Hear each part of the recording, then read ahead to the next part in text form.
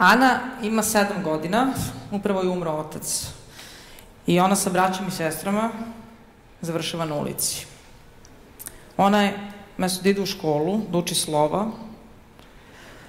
ona uči da prosi. Majka je udaje za starijeg muškarca i ta porodica je prisiljava da spava sa raznim muškarcima za novac.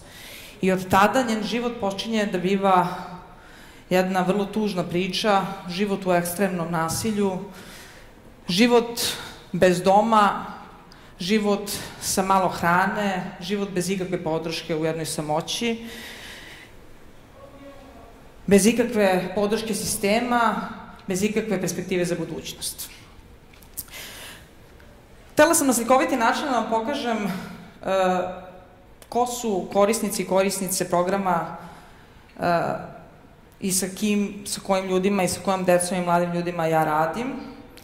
Uh, ko su ti mladi ljudi, ta deca, kojom se organizacija Tine iz koje ja dolazim bavim. Uh, da vam slikovito prikažem da su ta deca tu negde oko nas, ta devojčica Ana, Nije jedina devojčica, mnoga deca dele njenu sudbinu, a mi često, nažalost, prođemo pokraj njih i da ih ne primetimo. I ona je bila dete iz jednog grada u Srbiji. Najčešće naši korisnici, korisnice, ta deca i ti mladi ljudi jesu deca koje su imale iskustvo nasilja. Jesu žene koje su trpele nasilje u porodici, na koje niko nije obratio pažnju, na koje adekvatno društvo nije odreagovalo, Uh, jesu deca koja su bila već poznata sistemu socijalne zaštite, deca koja su bila u domovima za nezbrinutu decu, ali nisu im bili pruženi adekvatni programe. A Tina je pre 12 godina počela da radi sa tom decom. Počela je da kreira programe i da ide izvan okvira onoga što se zove zaštita. Često kada razmišljamo o trgovini ljudima, pomislimo to je organizovani kriminal, to je nešto se dešava tamo nekome drugome. To je nešto, prvo što pomislimo jeste sigurno mesto, treba im sigurno pomoći, ali s druge strane pomislimo i na one klasične oblike zaštite koje nekome treba pružiti. Potrebno je nekoga oporaviti, potrebno mu je pružiti psih, psihičku, psihološku zaštitu, psihosocijalnu podršku, potrebno je nekome pružiti pravnu pomoć u sudskom postupku, e, osnažiti kada se suoči sa svojim trafikerom. Ali ne, ta zaštita ide izvan, izvan toga. Mislim, potrebno je kreirati sistem, potrebno je odgovoriti na neke potrebe koje oni imaju, potrebno je uključiti ih ponovo u obrazovni sistem zbog toga što većina tih devojčica nisu nikad imala priliku da idu u školu, nisu imale priliku da, da, da se upišu u školu i su ispali iz školskog sistema. A mi pretpostavljamo i podrazumevamo da sva deca idu u školu. Potrebno je kreirati njima prilike da se poradu u taj školski sistem, a zastavim ih snažiti da, da, da jeli, krenu svojim putem i da imaju tu perspektivu da vide šta žele u svom životu i u budućnosti. To je nekako negde cilj naše organizacije bio i to je nekako bio moj cilj kada smo krenuli da kreiramo te programe. I naravno, ti programi su se razvijali i nastavili smo da radimo sa njima i sa školama i sa različitim institucijama i na kraju sa njihovim porodicama ukoliko nisu učestvovali u eksploataciji. Ana, naša devojčica sa početka, nju je njena porodica prodala. I prodala je nekim muškarcima, nekim ljudima koji su je i radno i seksualno zlostavljali širom naše zemlje, a zatim i po drugim zemljama. Ona je smogla, smogla snage da izađe iz toga, smogla je snage da, da se izbavi, smogla je snage da pobegne i da prijavi to policiji. Ali ono Šta je neverovatno? Ja ću vam reći i kako je ona to uspela, ali naravno ono što je ona nama i poruku i kroz taj beg poslala poruku o ljudskosti i čovečnosti. Njen zlostavljač je nju, njo, kada nije bio kod kuće, naredio da ode da kupi doručak njegovoj deci i ona je to videla priliku da ih tele da iskoristi. Ali ona se ipak sa tim doručkom vratila kući, da ne bi ta deca ostala gladna, i onda je otišla. Tako da, moramo znati da ne smemo da zatvaramo oči nad ovim problemom i da jednostavno jesmo negde odgovorni da pritisnemo zajednicu da ne okrene leđa. S druge strane, moramo da verujemo da iako je reč o ovakvim drastičnim kršenjima ljudskog prava i ovakvom nasilju, uvek ima pomoći. Nikad ne smemo da pomislimo da eto nekome kad se to desi, eto užasne su posledice i nikad se više ta osoba neće oporaviti.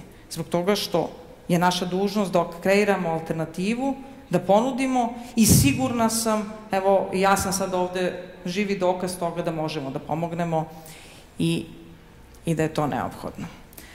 Ono što je ključ naših programa, gde ja prepoznajem ta mesta, kako smo razvijali te programe, jeste prvo kreiranje alternativa. Alternativa, izbora, davati, kreirati aktivnosti i servise za tu decu, za te mlade ljude, kako bi oni mogli da biraju. Ne možemo da namećemo odluke, ono što se prvo nauči jeste u programima podrške da ne smemo da nekome da mislimo šta nekome treba, nego treba da slušamo šta nekome treba i da ponudimo šta tom nekome treba, a ne ono što mi želimo da ponudimo. To je negde prva lekcija koju sam ja naučila u našem radu i to je prva lekcija negde koja se nauči.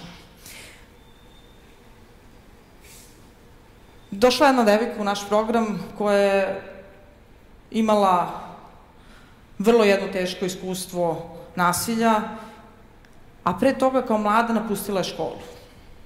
I mi smo radili sa njom i u momentu ja sam ugledala tu fascinantnu inteligenciju i taj fantastičan potencijal u njoj da nastavi školu, da završi studije i bilo mi je žao što nije imala tu priliku. Ja sam bila ta koja sam želela to da je omogućim. I naravno, otišla sam do direktora srednje škola, sve sam dogovorila sa njima, pribavila sam sva dokumenta koja su bila neophodna da ona nastavi sa školovanjem, došla kod nje sva srećna i rekla samo treba da položiš te ispite i mi ćemo organizovati dalje tvoje studije. Ona je bila potpuno indiferentna i potpuno nezainteresovana.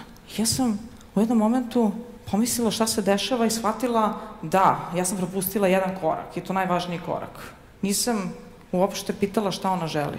Nisam nju uključila u, u, u sve ono što sam organizovala i ona mi je hladno rekla, pa da, je baš super što si to organizovala, ali meni to nije prioritet sad. I bila je u pravu. To u tom trenutku nije bio njen prioritet. Kasnije, ona je našla svoje prioritete i sada je vrlo zadovoljna i uspešna jedna žena. Druga stvar je jeste da razmišljamo o procesu. Uvek mislimo dovoljno je samo izbaviti nekog iz situacije nasilja. Dovoljno je nekome ponuditi neki alternativni obrazovni program. Dovoljno ga je vratiti u školu, dovoljno ga je odvesti kod lekara, dovoljno je izvaditi dokumenta, dovoljno je pomoći u sudskom postupku. Ali to jeste neka aktivnost, ali gubimo iz vida proces. Da bi se neko oporavio, da bi neko zapravo se osnažio, da bi neko izašao i rekao ja sam čovek, vraćeno mi je dostojanstvo posle takvih stvari, potrebno je da prođe jedan proces i to su dugotrajne stvari, to su višegodišnji procesi. I zamislite sebe kad ste odrastali, nismo mi sada ovakvi zato što nam se to desilo u jednom danu, nego je bio to proces kojim smo se obrazovali, razvijali, to je jedan beskrane proces razvoja gde se mi menjamo, a te promene ne primećujemo u tim trenucima, nego primećujemo tek nakon nekoliko godina. Tako i u programima podrške i u programima pomoći, ako hoćete nekome da pomognete bilo svom prijatelju, bilo nekome ko ima bilo koji problem, problem odmislite koji. Morate da razumete i da uzmete u obzir da postoji jedan proces i da imate strpljenja za njega, a mi kao organizacija koja pružamo tu vrstu podrške moramo takođe da imamo to u vidu. Treća bitna stvar jeste preuzimanje odgovornosti. Te mlade žene, ta deca koja su preživala trgovinu ljudima, često su učesnice u postupku. Često imaju im je bezbednost ugrožena. Često imaju različite probleme, ali takođe one u samom startu kad ulaze u naš program preuzimaju odgovornost za svoju bezbednost i za uspeh u tom programu. Kao što mi preuzimamo odgovornost za ono što nudimo, za vođenje i, i vođenje nekog procesa oporavka. To je neophodno da razmišljamo o toj ličnoj odgovornosti zbog toga što, što često u tim pomagačkim profesijama ili često u obrazovanju oduzmemo nekome taj moment da jeste odgovoran za svoj život. Svi smo mi odgovorni za naše živote I ključna, ključno mesto našeg programa osnaživanja jeste to da ona vrati kontrolu nad svojim životom.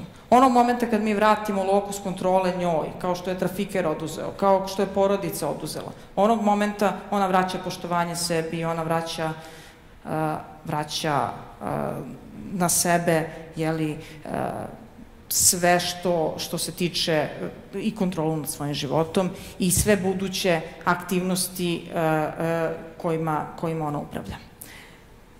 Ono što je bitno da se kaže da sve ovo nije moguće i niko od nas ovde nije omnipotentan i ne može se raditi bez saradnje i ne može se raditi bez, bez podrške svih koji učestvuju u tom procesu. Da bi se nekome pomoglo, nekoj mladoj ženi ili toj devojci koja ima 16 godina i koja je 5 godina živela u nasilju, potrebno da se uključe i pravnici, i psiholozi, i različite institucije, treba da se upiše u školu, treba da se pruži zdravstvena zaštita. I negde na slikovit način nekada je potrebno u nekih tri meseca uključiti i skoordinisati 15 različitih profesionalaca i profesionalki da bi se nekome adekvatno podržalo.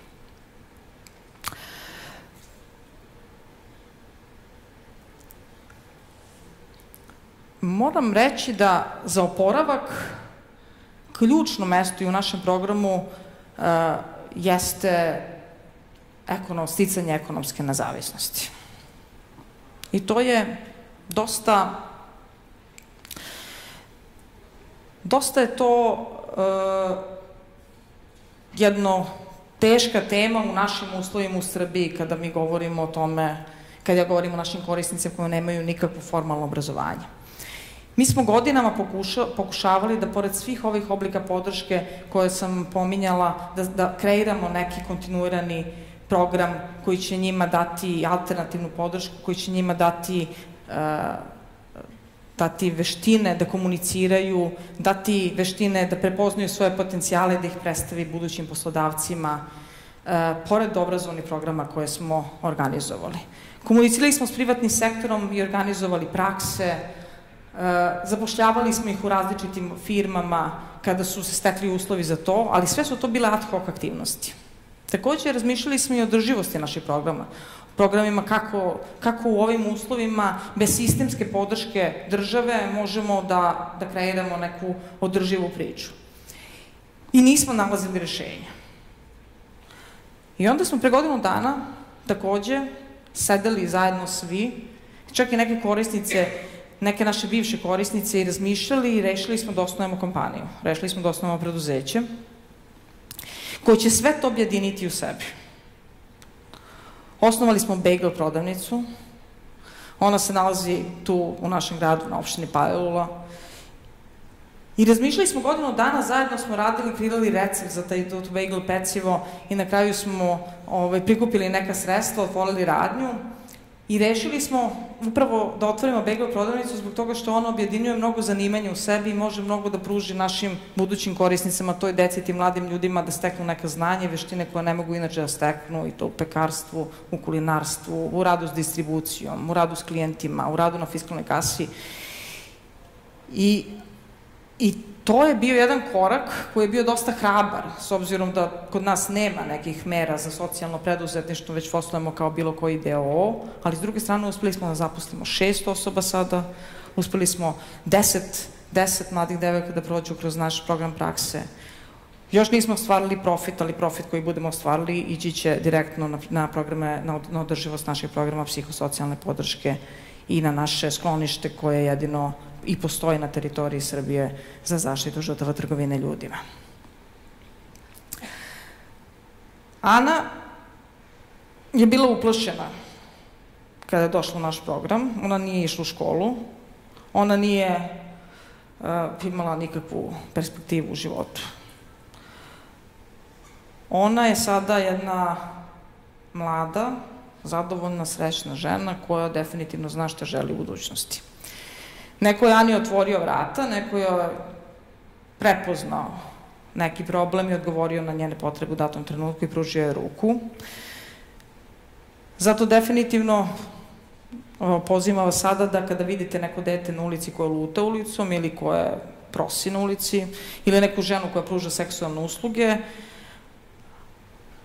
pa nemojte okrenuti leđe, nego pogledajte u to, pomislite na Anu, pomislite da postoje alternative, a ako u tom trenutku ne postoji alternativa, onda definitivno od nas zavisi da li ćemo tu alternativu i kako ćemo pritisnuti zajednicu i društvo i koje ćemo vrata otvoriti da tu alternativu napravimo. Moramo ostati aktivni i da znamo da svako od nas može da promeni nečiji život, makar život prijatelja, život nekoga ko komšinice ili komšije koji je u problemu ili nekog, neke grupe koja je definitivno u našem, našem e, sad okruženju jeste marginalizovana i vidite očigledno nepravdu. Znači, mi možemo aktivizmom menjati svet i zato mislim i sigurna sam da je danas, današnji susret naš jedan takav početak. Hvala vam.